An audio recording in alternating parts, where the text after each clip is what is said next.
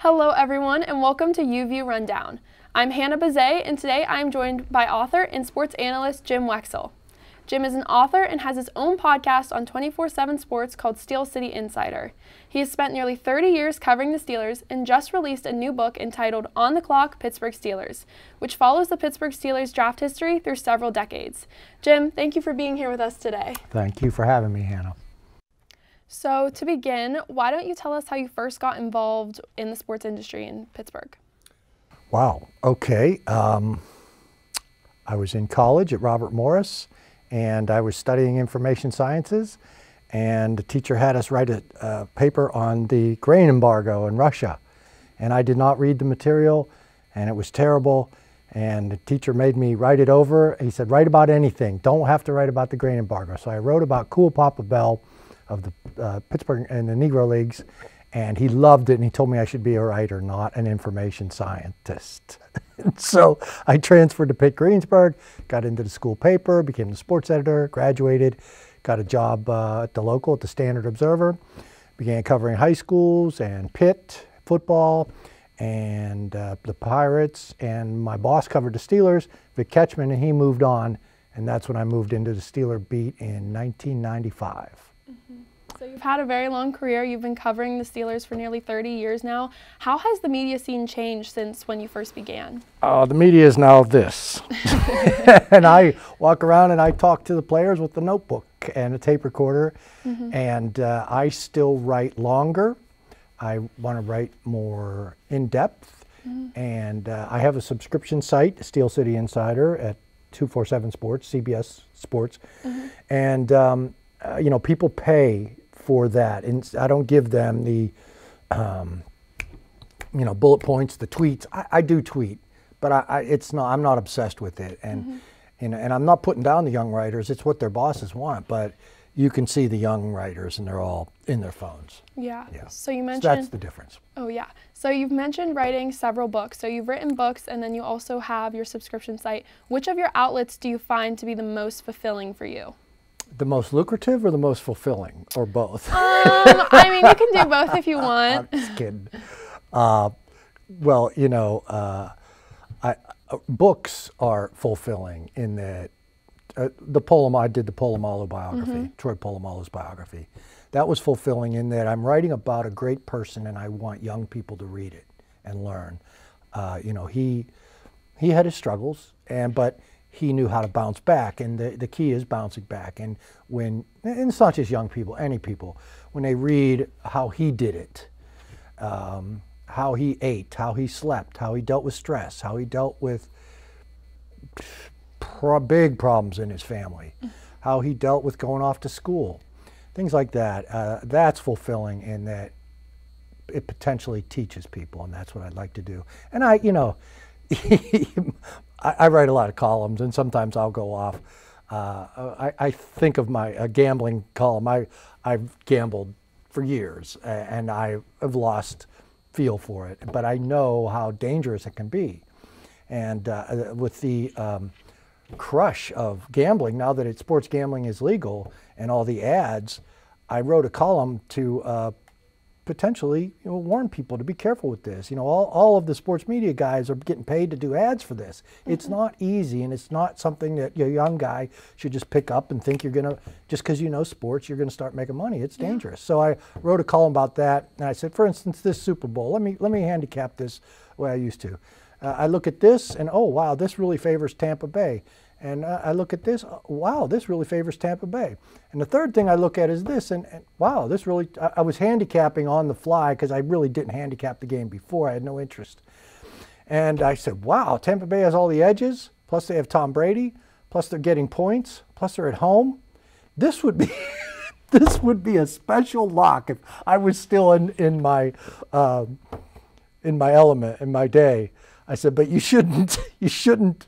Of course, Tampa Bay won going away, and it was a lock. And I don't know if I changed any minds by showing them actually how easy that was, but that was a rarity. So that's just one example. And I, I do pontificate at times, and I talk about. Uh, I have a morning routine. Uh, I read the book um, The 5 a.m. Club, 20 minutes exercise, 20 minutes of meditation, 20 minutes of prayer and or reading uh, wisdom. And uh, so I, I, expanded that into an hour and a half, and I'll write, especially about some of the books. For instance, this book here was uh, mm-hmm. influenced by Robert Greene's The Laws of Human Nature.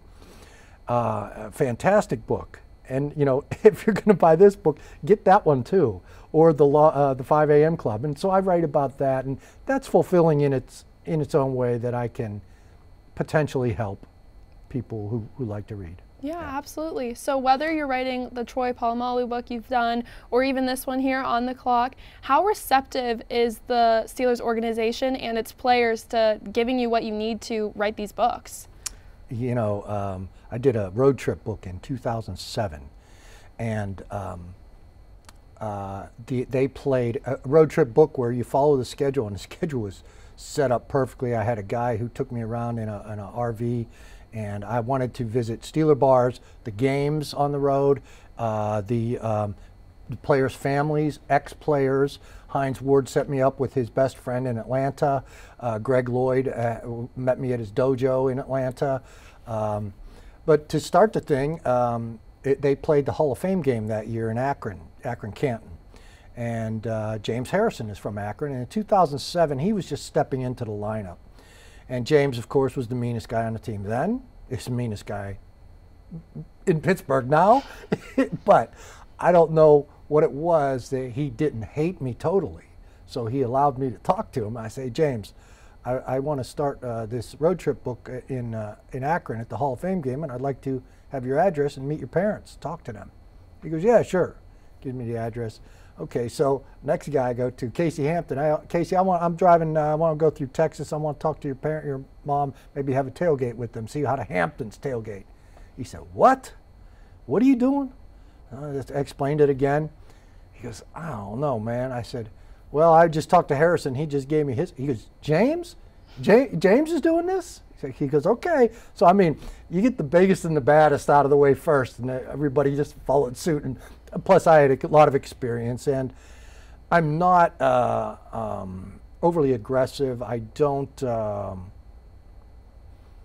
I, I, I really I haven't been accused of making anything up. I have the players' respect, mm-hmm. is what I'm trying to say. And especially that group was a fantastic group. So, you know, uh, from James Harrison to m- friends of mine, uh, Brett Keisel and Heath Miller, I, I, consider them friends, and Troy, yeah. they all um, they all contributed, and I, I really like that book. That's uh, 2000, came out in 2008, uh, called Steeler Nation. Um, uh, it has another eight words to it, but Steeler Nation, if you look it up, uh, you can get it at my website, jimwexell.com. It's paperback. That was a good one. That those were championship teams. So you get a real comfortability with players who are champions like that, and you keep working and you keep going. And I don't know the I, I, hate. I'm not bragging when I say they respect me, but it just seems that they do. Yeah. And I, I, I get uh, to talk to them, and I'm, I'm not looking for quick hits on who screwed up and stuff like that. And also, I learned a long time ago. Ed Bouchette told me, "Don't be the injury guy." I remember Yancey Thigpen in 1996 or something. Yancey Thigpen was a key receiver, and he pulled his hamstring and every week it was day to day. We weren't sure. And every Friday, I'm like, well, how is it, Yancey? How's your hamstring? And he just, uh, here, here, I come. Here comes the guy who's going to ask me about my hamstring. And it's a frustrating injury. And so Ed Bouchette said, don't, don't be that guy. Don't be the injury guy. You know, I was a young reporter. He said, you know, what you want to do is, is you want to uh, talk about their college football team. They love doing that, especially younger players and they know the players still at their college. And so you talk about that. You get to know Heath Miller has a couple kids playing soccer, and my daughter played soccer, so we talk soccer, talk family. Don't always be the guy who wants something. Mm-hmm. And, and not that I'm trying to schmooze them. I actually am interested. They're interesting people. And so they are interested in getting to know you too. So don't always be that guy that wants stuff. Especially don't be going up and saying, uh, you know, what do you, your offensive coordinator really stinks, doesn't he? What, what do you think of the game planning? I mean, there are ways to do that, but if you're the guy that's always looking to stir up trouble, they try to avoid you. Yeah. Yeah. Yeah. Well, that's good. So we talked about your past books and now talking about this book. You talk about the evolution of the Pittsburgh Steelers over a series of decades, all of the highs and lows. What was that research price process like for you? I love research. I can bury myself in a library. That was one of the criticisms I had of the new Hall of Honor Museum. I said, this place needs a library where I can go bury myself with every Steeler book, every article written. Mm-hmm. And that's what I did at the Pro Football Hall of Fame. They let me in their basement and helped me uh, with great research. Uh, you know, stories on Whizzer White, you know, the those were the articles of the day. Grantland Rice, the great sports writer of the 20s and 30s, seemed to be the first Steeler scout. And it's funny because the Steelers then tended to use newspaper guys as they went along as scouts. The great Bill Nunn, the greatest greatest scout of all time, was a newspaper guy, mm-hmm. and so us newspaper guys are proud of that, you know. And so uh, I, I, love getting buried in research and finding nuggets that no one else has had that I'm aware of, and things that I learn. It's it's I love digging that stuff up and talking to people, and you know you get to talk. I got to co- talk to Tom Donahoe again. I haven't talked to him in a while and that was a fun conversation. And he's he's uh, you know he, he's remembering nuggets too. And Kevin Colbert, he was very uh, very giving with information because he's done now. Mm-hmm. So you know he could talk about the Ben Roethlisberger draft, the draft where he passed on Tom Brady and took Tee Martin. You know he said that'll be on his gravestone, his tombstone. He passed on Tom Brady for Tee Martin.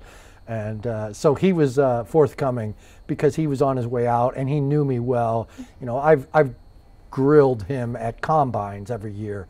And, uh, you know, he's guarded with information at draft time. But he knows me so well. He knows what, what titillates me, what, what works in a book. And uh, he was very forthcoming and very helpful um, at draft season. So I love that. I, I love all that. And, you know, you, you know, you, you, you manifest this stuff. I tell you, you know, you, you, you think about, you, you put yourself in the feeling of when Mike Tomlin calls me back for this interview for my Troy Polamalu book, it's going to go like this, and I'm going to feel, you know, and you put your feelings of how you're going to feel once the interview's over. And sure enough, he calls the next day. I mean, I haven't had as much success manifesting the rest of my life, but I, I seem to do well with research and the material I need for my work. Yeah. Uh, so, yeah. Yeah, that's good. Okay, so we often get to see what the day is like for players and coaches and organizations on draft day, but we very rarely get to see what it's like from a reporter's perspective. So I was just wondering what draft day is like for you. Oh, draft day. Oh, what a wonderful day. It really, I mean, it's a lot of work. Um, but, but um, seeing all the guys in the spring, you know, the reporters, we, we, we have fun together. There's, there's a lot of like minded kindred spirits there. Mm-hmm. And so you get to see your boys again in, in, April and you eat. And the Steelers are very accommodating in that regard. And coffee and, and you know, the draft, you just scratch guys off. You don't really pay attention. You know, Mel Kiper and those guys go on and on. It's, I don't know how people at home can listen to that. I know enough that I don't need to hear that. I just need to mark guys off and see who's coming down for the Steelers. If I'm doing a radio, you know, if I'm doing radio, that's helpful. If I'm not doing radio, just tweet some stuff. Look for the Steelers, these five guys, and mm-hmm. uh, draft day is fun. In, in 2003, 2003, we had a draft day. Now that's when they picked three rounds, and the third round would get picked at like midnight, and really you're past deadlines if you're working for newspapers, but if you're working online, you've still got to write. After midnight, you wait for the guy that calls in. Uh, the third round pick will call in and we interview him and then you write that up. And a lot of the newspaper guys at the bigger papers, they're done for the night. So that's where the us internet guys could get an advantage, getting that third rounder, but it's a pain. So that was 2003 and Pearl Jam was in town that night and we were lamenting that we're going to have to miss Pearl Jam because of this stupid third round pick, you know. And so uh, they announce uh, they come in for the first round pick. The Steelers have traded up. They've traded their third round pick to draft Troy Polamalu. I'm like, oh, okay, so we got to go to work now instead of waiting to the end of the first round. It's time to go to work. Troy Polamalu, who's this guy? Okay, all right. Troy calls in. We do our interview and write it up, and all they got is a second round pick, and it's rolling around. It's coming quick. And I turned to Mike Prisuta, who works at DB. I said, hey, you wouldn't by any chance know anyone that could get us Pearl Jam tickets at this time now that the third round pick's traded. He called. Sure enough, three of us we went. We thankfully they traded the third round pick, and that's that's how draft night can go. Yeah, perfect. That was that was the that was the best. Yeah. You know, we're always we, we got confirmation from Kevin. Kevin, we're not going to write this, but tell us, are you going to try to get back into the third round? Are you going to trade back into it? We want to know if we can leave. He goes, go ahead, you're good. Yeah, it's like your Christmas day. okay, so now we're going to turn to not such a good note. So the Steelers have been struggling recently, and I just had to ask you, how do you feel about the current state of the team? Well, I mean, you know, Mitch Trubisky had no chance. He was coming in following a legend, the only quarterback who never was booed in Pittsburgh, um, and he was he was transitioning before the first round draft pick out of Pitt, a popular kid. Mitch Trubisky had no chance, and when things went bad for him, he was done. So it's, but the point I'm making is it's a rebuilding year. We all know it, and um, people can get frustrated at what's going on. But Kenny Pickett's playing; he's getting better each week. Uh, people may not believe that he's getting better and, and can grow into a championship quarterback, but I see.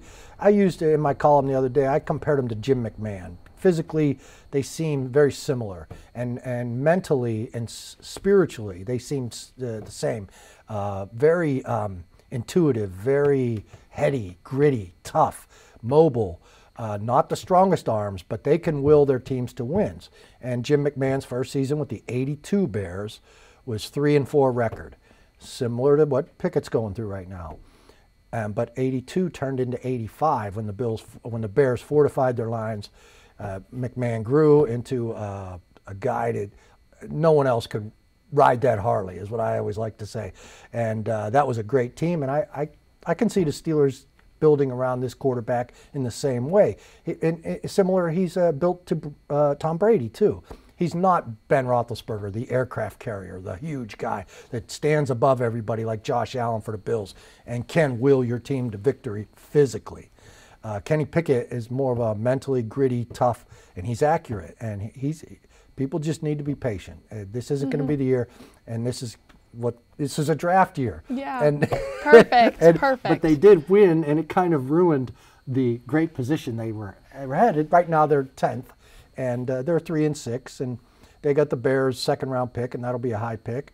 So Mm-hmm. uh, they can have a good draft coming up, and that's helping my publicity. People Absolutely, don't yeah. really want to have come and talk about the Steelers. It's like, what are they looking at in the draft next yeah, April? perfect. So everyone needs to get out and buy your book so that uh, who knows, maybe this upcoming draft it'll be the next one you write about, the next big one. Right. It's funny. I, I talked to the, uh, uh, the the publishing house, Triumph Publishing, uh, after the draft. They they wanted the book done in March, so it was before the recent draft. And I, I called. I says, "Hey, you know, we can add a chapter on Kenny Pickett. He's really popular in this town. You could put him on the cover." Guy says, "No, we did that in New York with Sam Darnold." And he busted out and has already been traded. So that book was total. Go, they go, we'll stick with T.J. Watt on the yeah, cover. yeah, safe choice, safe choice. But I think Pickett Pickett's not included in this because I was after the deadline. But he's a popular guy and he was a good pick, and he's going to be a lot better than people probably think he's going to be at this point. yeah, that, that's for your next draft book that you'll work on. Uh, I've got some ideas. I'm working on some other stuff, but maybe in 20 years another Yeah, draft book. yeah. yeah, right. Perfect. Okay, so finally, are there any big takeaways you want sports fans to get from this book? Steelers fans, sports fans, just anyone in general? Well, um, you know, the draft is the his, history of the draft is the history of the team. And so, you know, I, I went through the Hall of Famers, starting with Whizzer White, the stories behind Whizzer White, what led to them drafting him, uh, and, and how he became a Supreme Court justice. And I, also, you know, in there at the end, I, I said, and uh, the, the Washington Post has a, had a great writer at the time called Shir, his name was Shirley Povich, uh, legendary writer, and he wrote that Whizzer White only lasted one season in Pittsburgh, but Art Rooney wanted to not only get a talented player, but he wanted to up the class of the National Football League and his franchise, and that's what he did. The guy became a chief justice, right? And um, so I, I called that the first uh, pillar of the Steeler way, and that's a future book, The Steelers Way. Uh, but um, you know, the character matters, and character is important, and it upped the class. And it didn't do much for the Steelers at the time, but he upped their class, and and you can see that as you go along with each of these guys: Bill Dudley, Ernie Stautner, um, and, and you know, into boy the '60s and the hiring of Bill Nunn, uh, battle uh, through racisms Uh, Bill Nunn broke that up. Chuck Noll broke that up. Then the class and character of all these great black college football players that Bill Nunn got for Chuck Noll became the bedrock of four Super Bowls and just blew the NFL wide open with all that talent. And they weren't all from black colleges, but Bill Nunn had the keys to the kingdom, and it, it, all explains how that process unfolded. Bill Nunn accused the Steelers of being racist. He didn't want a, he didn't want a job with them. He was a Cleveland Browns fan, even though he lived in Pittsburgh and was the editor, the great editor of the uh, Pittsburgh Courier, uh, the all-black newspaper. And so um, that's all important. Pe people need to understand all of that, how progressive the Steelers really were, and they let their coaches coach, and thus the charges of racism against Buddy Parker and Bill Austin by Bill Nunn. Um, but it wasn't, the Rooneys let their coaches coach. And that's what the, you know, when Johnny Unitas was on the, in camp in 1955 or 54, I should know, I wrote the book, right? One of, in the mid 50s, and they cut him without ever playing him in preseason. And the young Rooney boys were the ball boys. And one of them wrote to father, who was away chasing horses, and he wrote to him, hey, this idiot coach is gonna gonna cut Unitas. He's the best quarterback here, and he hasn't even played him at all. Mm-hmm. And the chief wrote back, "Let the coaches coach," and that's another pillar of the Steelers' way. It, it holds true to this day. The coach is in charge of all of it, and uh, so they cut Johnny Unitas, and uh, all these. Uh, uh the draft tells the history, and the history is full of the pillars, the fundamental pillars of how this organization is built and became the great organization it is. That's all the time we have for today. Once again, we would like to thank Jim for coming in to speak with us. Before we leave, why don't you take a moment and tell everyone where they can find your work? Uh, my work is at Steel City Insider or Steelers Digest. Steel City Insider is a subscription website, and um, that's at CBS, CBS 247 Sports. And this book can be gotten at Amazon, uh, Barnes & Noble, you said Target? Target, yeah. Right.